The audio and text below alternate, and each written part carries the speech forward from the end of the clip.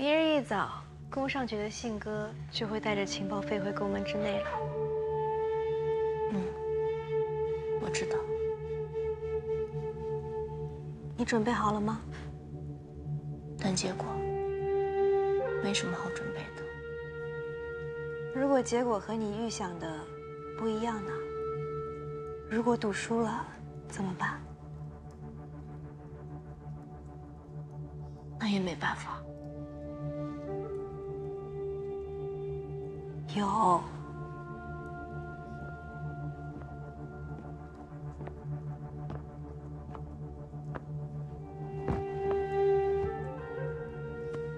挟持一个人质，全身而退。宫门里每一个人都深不可测，就连我们平日里看起来最没心没肺的公子上大小姐，不一定会是他的对手。那就挟持一个最有把握、一定会成功的人。谁？我啊。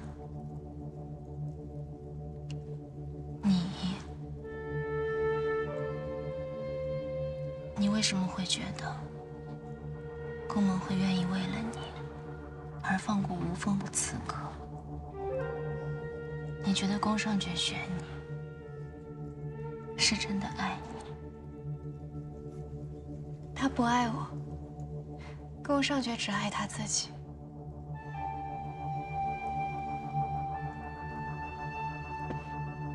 你知道他为什么会选我吗？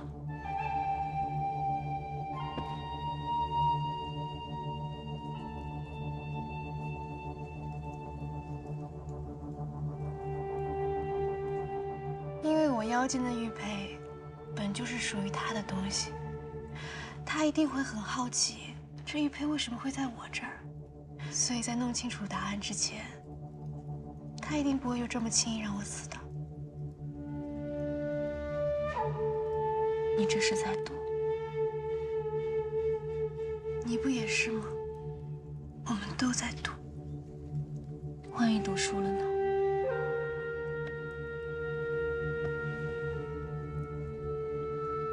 不管宫上觉在不在乎我的生死，但我相信，你一定不会真的伤我。杀了我，对你没有任何好处。以你的本事，杀不了我，顶多伤我。如果伤我，那就更好。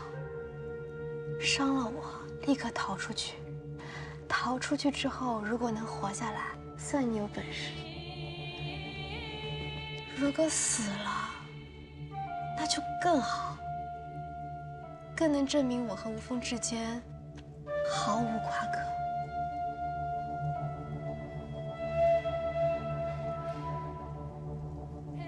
你都算计好了是吗？两只狼装扮成狗，混进羊群里。如果其中一只狼暴露的话，那么另外一只狼就该立刻撕咬它，剩下那只狼就会永远变成狗，混进羊群里，一天吃一只羊，没有人会怀疑那只假冒的狗，因为它曾经咬死过狼。你真的很厉害。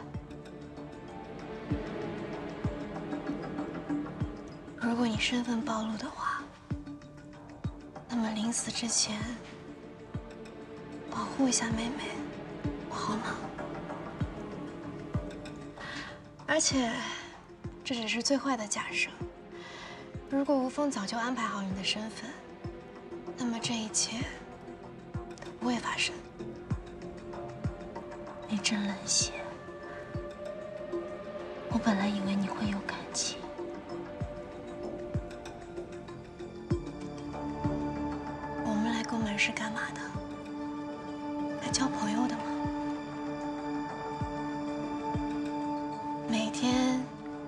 姐姐妹妹的叫来叫去。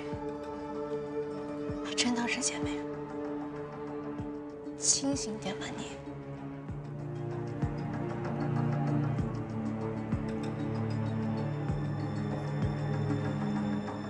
你们妹姐的人都是这么残忍。吗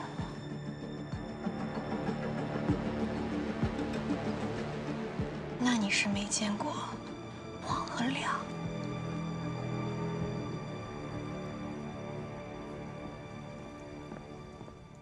云微山姑娘，上官浅姑娘，请前往直人殿。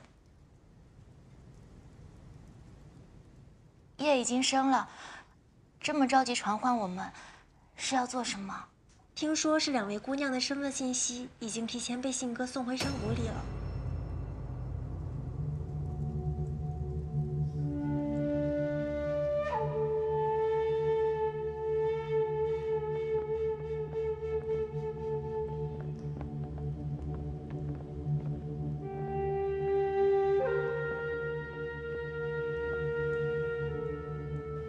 经核查，大富城上官浅小姐的身份属实，没有任何异常。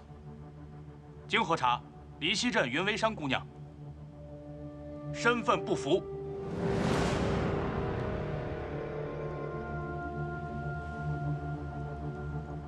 宫二先生，请问我的身份有何不符？我有几个问题，想先问问云姑娘。你问。姑娘离家当日，家中可有遇到歹人？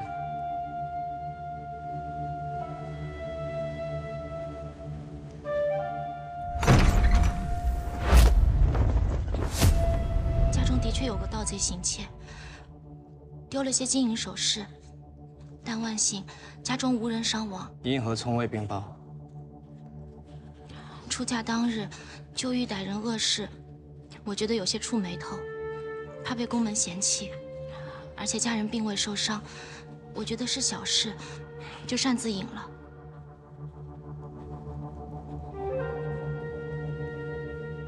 还请直人治罪。人之常情，我能理解。就查到这些，这点小事，就可以说他身份不符？宫门的侍卫去了云为山的家乡离溪镇，知道这是云为山小姐吗？带着化石的画像，向云家的下人打听，然而却没人认出你的画像。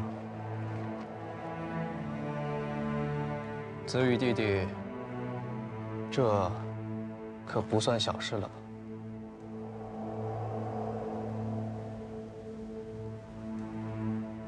云姑娘，你真的骗了我们吗？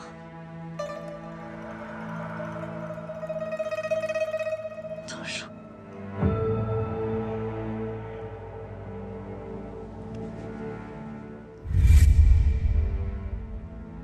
记住我说的话，无论如何，都要咬死自己的身份。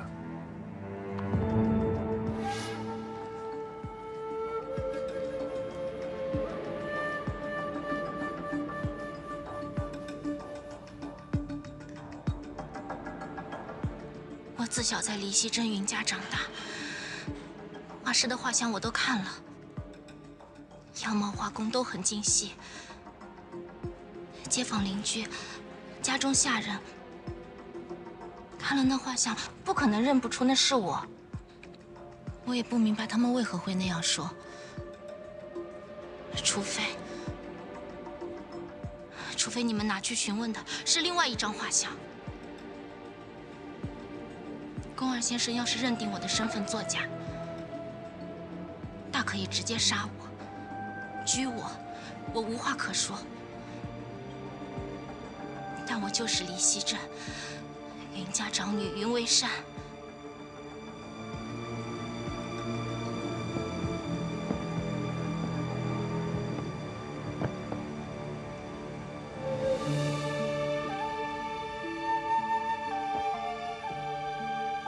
你紧张什么？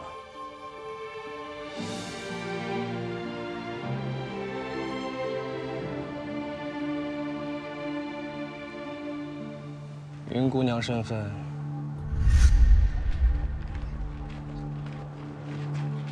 这不是云微山姑娘吗？多么年纪大了，眼神越发不好使了吗？画的真好看。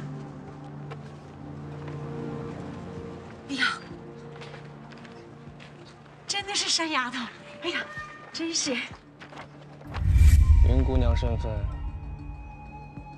查探无误。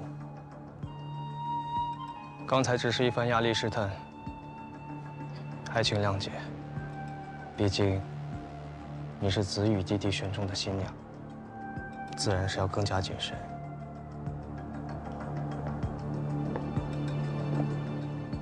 哦，对了，云姑娘，你离家后，令堂十分惦念。我的手下已经转达说，你在宫门一切都好。云夫人要给你带句话。她说，你能平安进入宫门，还被子瑜选中，福大命大。云姑娘在雨公子身边，要尽心服侍才是。